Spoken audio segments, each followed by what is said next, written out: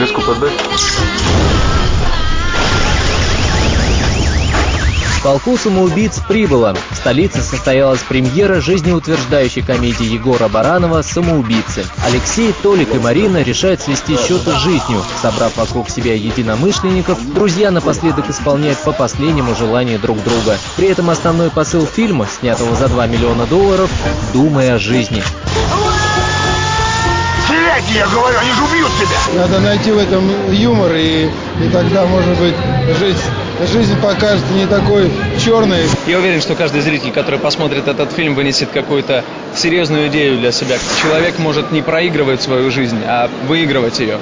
Это главное, то, к чему пришли все герои этого фильма, и то, чего мне хочется пожелать каждому человеку, невзирая на то, посмотрит он это кино или нет.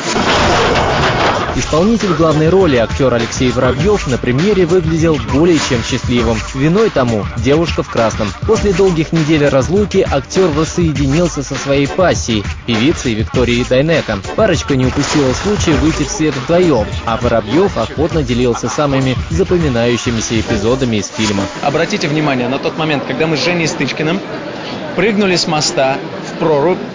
После того, как мы вынырнем, а мы вынырнем, Посмотрите в этот момент на лицо Жени. Он там раскололся. И на большом экране это особенно видно, потому что он поворачивается на меня вот с таким лицом.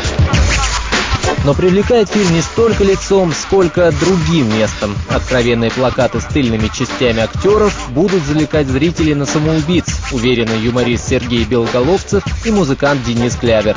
Идем по улице, по Арбату, и вдруг видим шведский стол практически. Спасибо было название фильма э, «Самоубийцы».